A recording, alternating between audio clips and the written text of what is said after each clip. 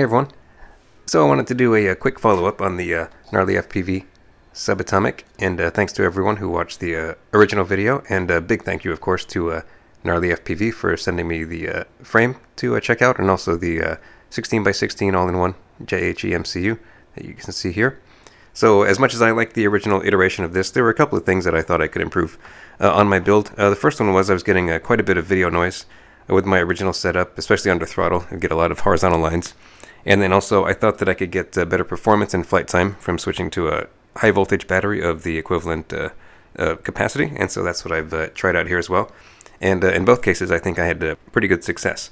So in terms of the uh, video noise, basically I just changed out all the electronics save for the motors and the flight controller.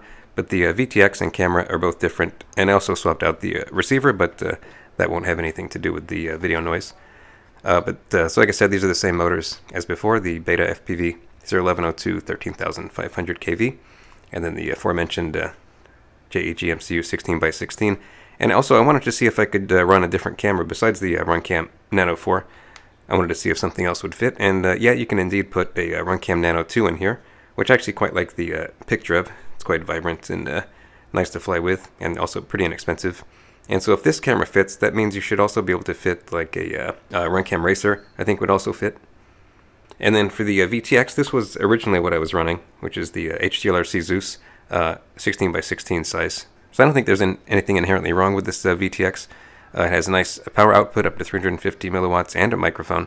Uh, but for some reason in my installation I was getting a lot of video noise. And whether it was how I installed it or just there's something about this setup, um, I really didn't want to troubleshoot all that noise. So I just decided to try a different VTX. And so I'm just using the one that Gnarly FPV recommends, which is the uh, TBS Unify uh, Nano. So I've just got that in there, and I'll show you how I have it installed in a second. And uh, with this VTX and with the Runcam Nano 2, I was not having uh, any video noise uh, whatsoever under throttle or really at any other times, just your usual uh, analog noise. So really nice setup now with this, very clean, and also saved a couple of grams in weight over the little HGLRC Zeus.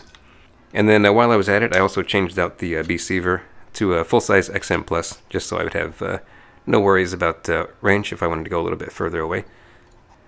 So let me uh, remove the uh, top plate and I'll show you a little bit how I have the uh, components installed.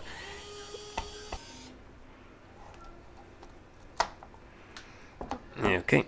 Oh, and another thing I changed over the uh, previous version was I went for a uh, lighter gauge wire for the battery connector. So this is a 24 gauge.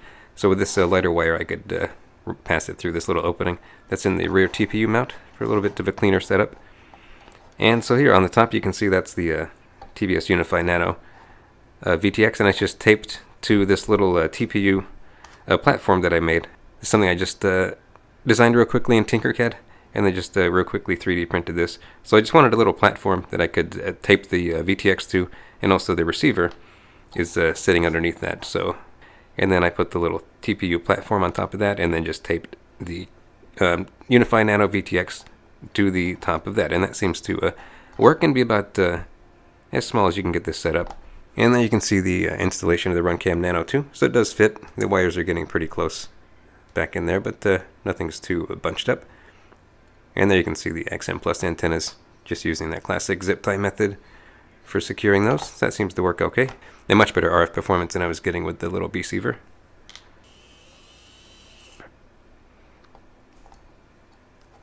Okay, so there's the uh, top plate back on. Oh, and if you're wondering about this small little VTX antenna, I think I just got that from some Happy Model uh, VTX, but you can use the one that comes with the uh, Unify, no problem. So let me just do a quick uh, weigh in of this on camera before I get to the uh, battery situation. So let's see. Hopefully you can read that. So, in its current form, coming in at uh, 43.8 grams, so almost 44 grams. So that's pretty good. Basically, it's like the weight of a toothpick, but you've got more um, higher voltage and smaller props kind of a thing.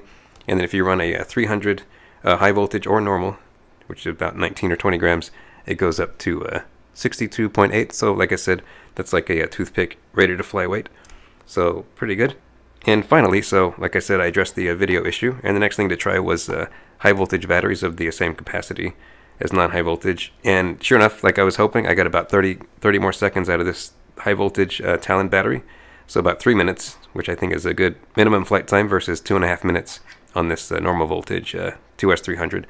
So I think the uh, high voltage uh, is definitely the way to go. And you could say, well, it, maybe these batteries don't last quite as long if you consistently charge them up to a high voltage, but I haven't had too much experience with that being the case. And also, these batteries are only $6, so you could just maybe buy a bunch of them. And I haven't done uh, JESC or 48 kilohertz on this yet, but I could do that and probably add maybe another 10, 20, 30 seconds of flight time. Uh, so I might do that down the road, but uh, for now, I'm very happy that I got rid of the video noise and also very happy with the performance on the uh, high voltage battery. So anyway, I'll show you the uh, one of the flights I had this morning with this current setup. And uh, that's it for now. Yeah, thanks for watching.